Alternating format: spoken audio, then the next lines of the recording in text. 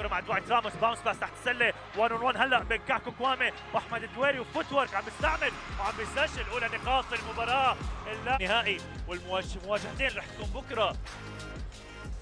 منتخب مصر منتخب تونس القمة الأفريقية بالأراضي الأردنية رح تتكرر بكرة.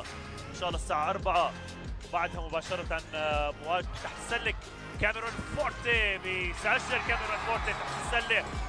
screen من كوامي وال pick and roll مع اللاعب كاكو كوام قبل لنهائي كأس آسيا 2011 قدمنا مباراة أحمد دويري دويري يحاول يعمل drive تحت السله وبيسجل مع الان وان بيسجل. طبعا المجريات البطولة وأحمد حماشة بهدي اللعب وبيسدد وبيسجل. أولى points لثيردي رافينا. الرافينا بده يكمل بده يكمل بده يكمل على السلة all the way وبيسجل.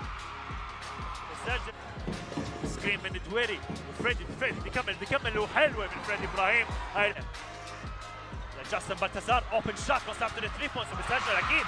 أكيد بيسجل. راح يكون في تبديل بصفوف المنتخب الفلبيني. راح نشوف جوردن هيدينج بأرض المية. قدرة على التسديد. كرة مع جوردن هيدينج جوردن بيسلمها لجاسم بالتزار مسافة 3 point جوزيف بيلانجيل رح نشوف تبديلين بصفوف منتخبنا. وتسديده أمين أبو حواس screen من يوسف أبو وسله زميله بنادي الوحدات. وأمين أبو حواس بيسجل ضل تسع ثواني عن نهاية الهجمة. وبالتزار دافع عليه يوسف أبو وسله switch في ال defense بلعبة منتخبنا الوطني ودي يسدد مسافة متوسطة جورجو مع البصر نجاح المنتخب الفلبيني اللي شفناه من ناحية السرعة وتسديدات 3 points وهي ثاني محاولة الهجومية. كرة بتوصل لجوردن بيسدد مسافة الريتريف. جوردن هيدنج وعم يسجل. جوردن بس في offensive rebound هاي الثالثة الفلبيني نيتو توصل لتشيو. لجوردن هيدنج جوردن بيكمل بيكمل على السله بيحصل على الفاول من محمود درويش. هو الران أباريانتوس هي اللي عادل الكرة الأخيرة والنقطتين يلي سجلهم. محمود درويش رمي حره إضافية هلا جوردن هيدنج عم بيصطفف منتخبنا الوطني. رح يرجع أحمد حمارشي على أرض الملعب.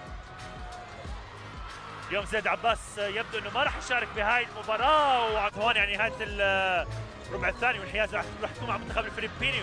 وتسديدة ناجحة من مسافة ال three points لرون أباريانتوس. وعم بنتهي ال quarter الثاني.